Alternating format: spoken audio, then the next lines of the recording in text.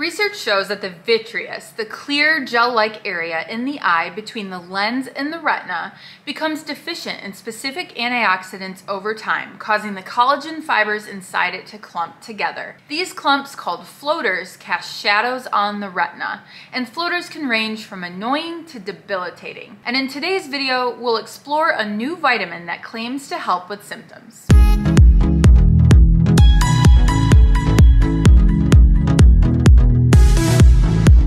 Welcome back to Eye School with me, Dr. D, where I teach you about products and treatments related to dry eye syndrome and eye beauty so that you can have healthy, beautiful, comfortable eyes. Give a little tap on the subscribe button down below to stay up to date with all the latest eye tips and tricks I have for you. So floaters are a type of entoptic, so entoptic phenomena.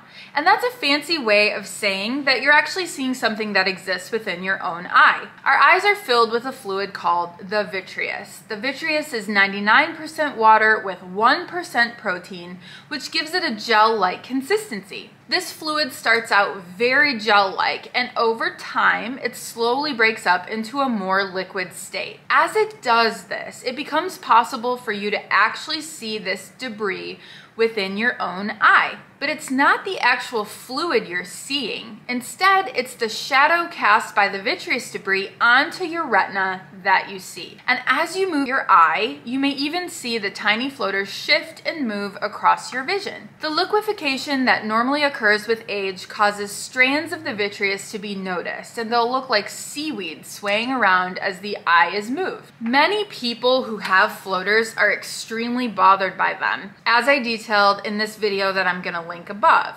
And in the past, if you asked me how to cure floaters, I would have told you about pars plana vitrectomy and YAG laser as options to break up and or remove floaters. I've even talked about the infamous pineapple or bromelain study in past videos, which I will link above and in the description below. But aside from what we call watchful waiting or just leaving them alone, Pars plana vitrectomy and YAG laser vitreolysis are the main treatment options available. So pars plana vitrectomy is the definitive treatment for floaters because you're actually taking the fluid out and replacing it. And that's substantiated by beneficial outcomes on objective and subjective measurements. Pars plana vitrectomy for floaters, or simply you can call it a floaterectomy, is increasingly being adopted by retinal surgeons in part owing to the advancement in vitreoretinal surgical instrumentation and the availability of the evidence regarding the safety of the procedure.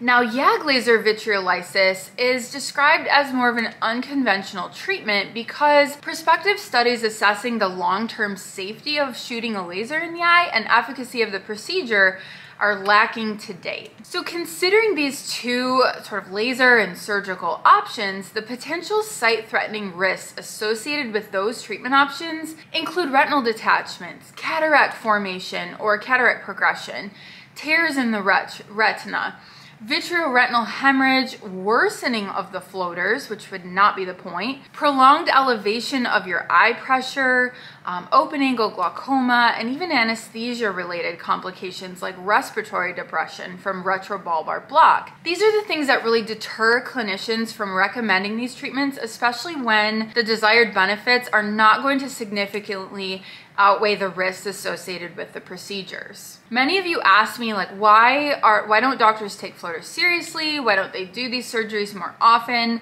And the answer to that is in what I just talked about. A lot of times the, the benefits just don't outweigh the risks and there are serious eye complications that can occur. We also know that floaters can have significant negative impact on visual function and vision related quality of life for its sufferers. I've heard that in the comments and it is absolutely true. And it's therefore not surprising that some patients are willing to trade 1.1 years of life for every 10 years of their remaining life to get rid of their floaters. Literally, people are willing to give up years of their life to get rid of floaters. Unfortunately, the conventional treatment mostly offered to all of you watching this video after we've successfully ruled out the possibilities of retinal complications is watchful waiting, in that patients are only monitored after they've either been reassured that their floaters are going to resolve with time or counseled to adapt to their new visual experience. Floaters unfortunately though don't really resolve with time, contrary to the popular assertion of clinicians, even like myself. I have definitely been known to say this. And this is because the increased fluidity of vitreous um, after it degenerates and the continuous saccadic eye movements, so those little movements that your eyes make every day, which are necessary for performing daily activities, that prevents the opacities from settling inferiorly within the vitreous. So finally, let's talk about a new potential cure or vitamin to help with your floaters. This is the vitamin from MacuHealth called Vitreous Health. And there was a specific study called the FLIES study that looked at the effectivity of using Vitreous Health to help your floaters. So the Floater Intervention Study, or FLIES, is a registered parallel group, single-centered, double-blind, randomized, placebo-controlled clinical trial. So it's the real deal. And it's designed to investigate the impact of supplementation with an active formulation of antioxidant and anti-glycolation micronutrients on visual discomfort experienced by floater sufferers. So in short, if we give patients with symptomatic floaters a formula of antioxidants and anti-glycolation micronutrients, will that help their subjective experience? The inclusion criteria for this study included people with primary floaters, so they could be age-related or related to being very nearsighted in at least one eye. The patients had to be 18 or older, not have cataracts or cataract surgery, not have any neural, developmental, or retinal disease, detachments, um, diabetic diabetic retinopathy, basically not have other eye issues going on and have a best corrected visual acuity of 2040 or better. There were 61 patients in the study, which is a relatively small sample size, but I was impressed with the study criteria, selection, and the methods they used to qualitatively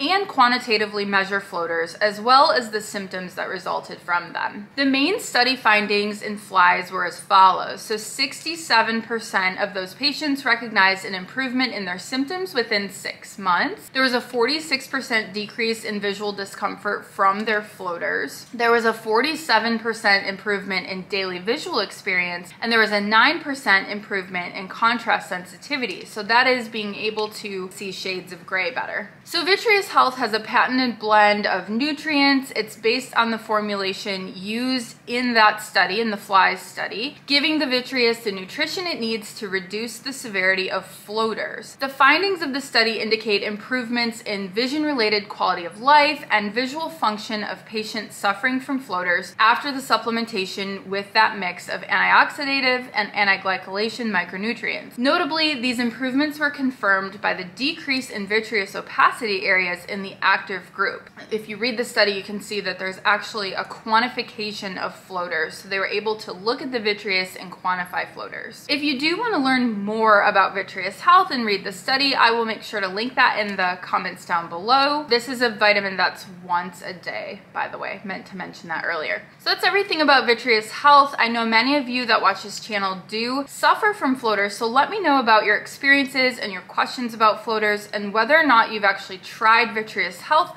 or any other vitamin intended to make floaters better, make sure to comment below. That is it for today's lesson. Class is dismissed and I will see you next time.